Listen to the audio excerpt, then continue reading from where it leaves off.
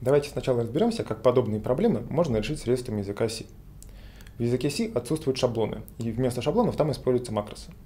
Стоит отметить, что в языке C отсутствуют классы, и точно такой же проблемы там не возникает. Однако там возникают похожего рода проблемы, связанные с определением структур и функций.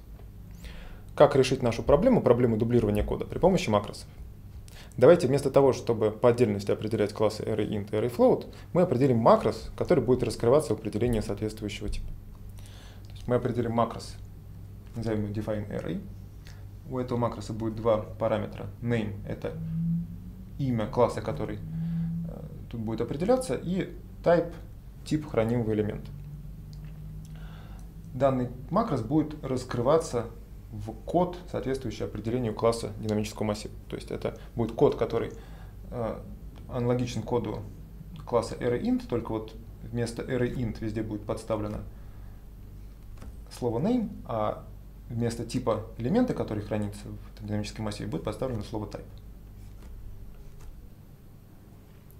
Теперь, если мы где-то захотим определить класс динамического массива, хранящего элементы типа int, нам надо будет написать define array, указать имя класса динамического массива, в данном случае array и имя типа хранимого элемента.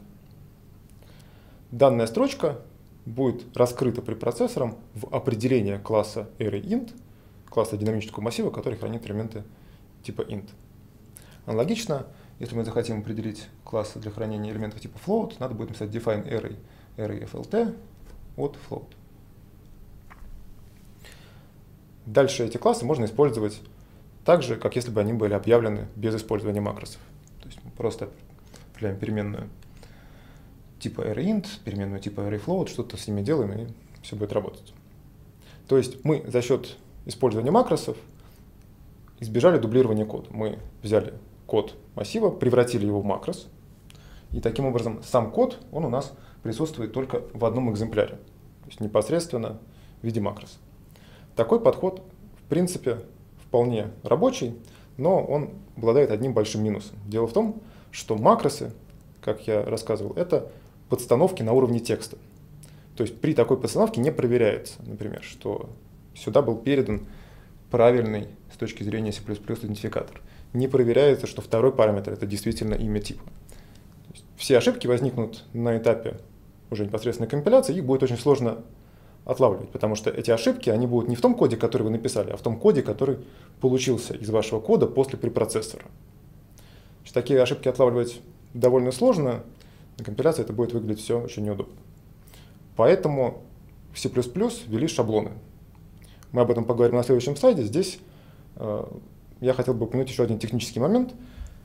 Он связан с тем, что все макросы должны быть однострочными. Но наш макрос здесь многострочный. Для того, чтобы показать, что это все одна строка, здесь используется символ слэша. То есть в конце каждой строки определения этого макроса используется слэш для того, чтобы показать, что следующая строка является продолжением предыдущей. То есть с точки зрения компилятора это все одна большая строка. То есть весь этот большой макрос, он с точки зрения компилятора представляется в одну инструкцию. Определение макроса, который заменяет строчку define array на длинную строку, соответствующую определению класса.